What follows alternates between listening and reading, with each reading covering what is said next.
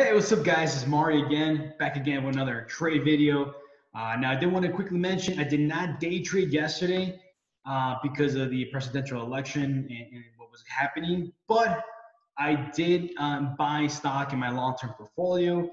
I felt that because of the volatility, um, day trading was just way too risky. There's just too much volatility, too many movement, and I felt like, hey, just buying in the right levels for a long-term move is, uh, I think, a better better decision. So that's what I did. Uh, now, but I did day trade today. I felt like there were some opportunities uh, in the low-hanging fruit uh, second day continuation plays, and I did do that on United Healthcare and also on Zoom. Uh, and I yesterday actually the whole healthcare industry, the sector, got bought out. There was a huge volume. Uh, there was power gappers in uh, United Healthcare, and there was some another biotech and pharmaceutical companies. Uh, there, so there's some definitely volume. I actually did invest in United Healthcare as well in my long-term account, and I also bought a Zoom. So I'm going to talk about those because I didn't get a chance to day trade those today. Uh, so I'm going to go over them today and cover them. So don't forget to uh, smash that like button and subscribe to this channel if you find some value. Uh, let me share my screen. Let's get started. All right, let me share my screen so we get started. Okay, let's get started. So what was happening yesterday? Now, I want to quickly go over the uh, S&P 500. So Tuesday, that was the election. You know, we did see a bounce. We did see some volume coming in. Uh, but again, it was just too close to see what was going to happen, too close to call or anything like that.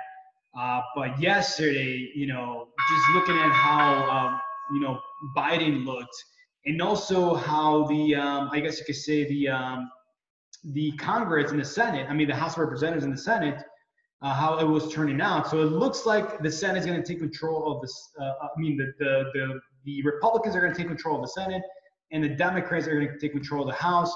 So in a way, I felt like the market liked that because they felt that the full effect of the Biden tax plan was not going to take into effect. So, um, so I'm sure there's going to be some tax increases if he takes the office, but I don't think we don't think that it's going to be. I don't think personally it's going to be as is, is as crazy as what some people were thinking. So just because again, um, the uh, Democratic Party did not take full control of everything. They did not take full control of the, uh, the, the, Senate or the House. They, uh, you know, so so there's definitely going to be some balance of power. So uh, that is good overall for the for the market. You know. So uh, today, um, well, actually, um, today what I was looking at is, uh, especially in the healthcare industry, if you notice uh, here, uh, United Healthcare had a huge uh, gap up on, on this uh, election news and and huge volume. Look at that volume, man. This insane amount of volume. Uh, so much so that I, you know, I was like, dude, I think I'm gonna get into this sector because it looks like big money's coming in and moving in, you know. So I got in uh, on that on that move. And today I was actually looking for a low hanging fruit long, you know, to buy in a second day continuation so let me explain to you, you know, what was I what was I looking for? So for the first thing, of course, you know, I really liked there was a huge volume the day before. It broke out of the range to all-time highs, uh, you know, 52-week highs. So that is very, very bullish, especially on humongous volume like this, you know. So I, I really like that. And again, it's all based on what's happening with the elections um, I, I, believe that because of how the, the Senate, how the uh, Republicans to control the Senate and the Democrats uh, to control the House, so there's some balance of power, so no party controls everything. Um, I guess investors felt that that was a good thing for overall in the healthcare.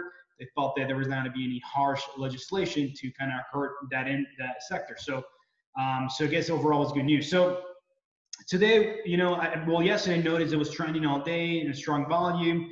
So today I was looking for a second continuation of that move.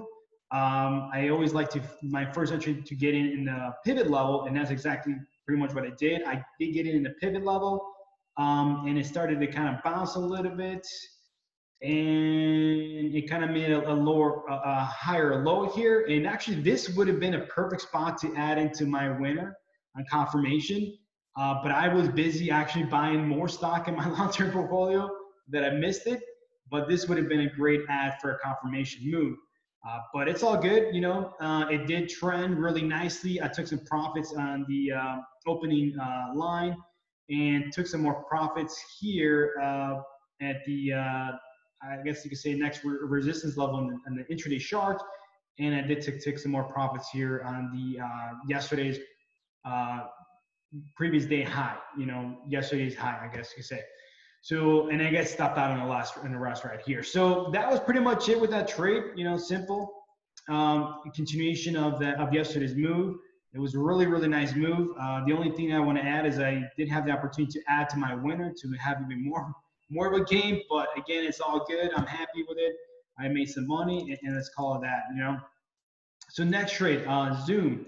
So Zoom, I actually day traded it, uh, I believe, on Tuesday um, on this on this on this Tesla 50, and it actually made a move. So I was day trading here. I took a loss, but I was actually expecting to move end of day and guess what? It still made the move, but it actually gapped up the next day big. So um, that's that's the thing about uh, you know day trading is that sometimes the move may take a while. It might happen overnight.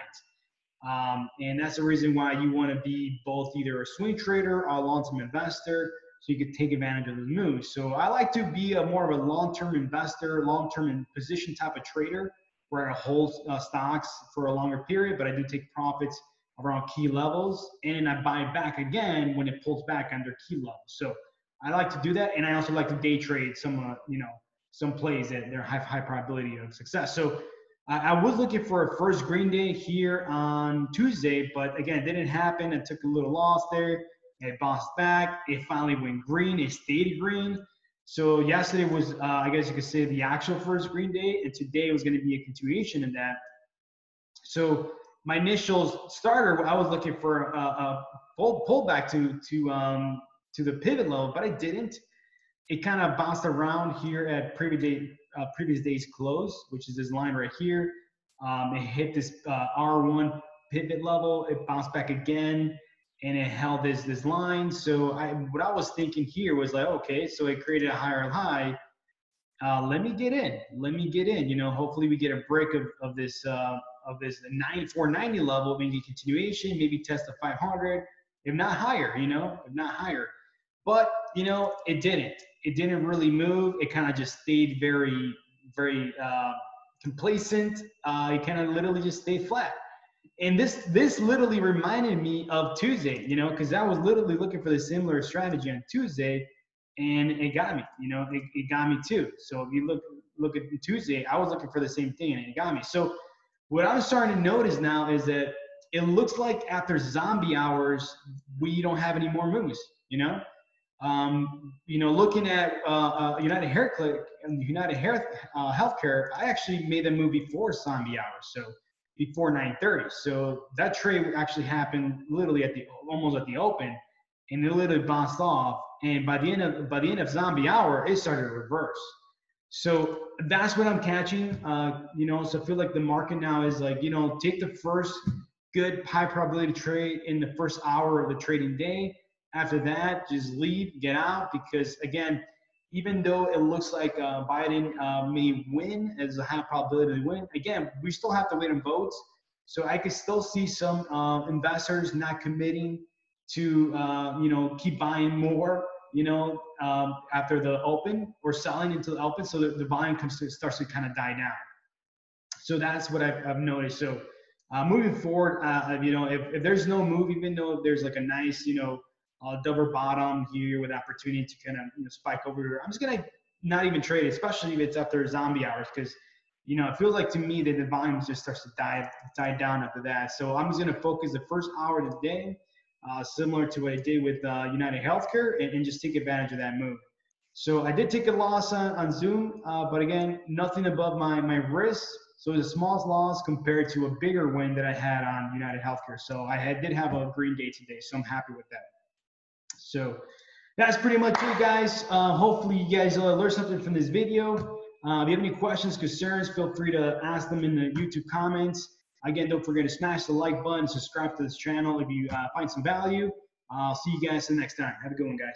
Take care.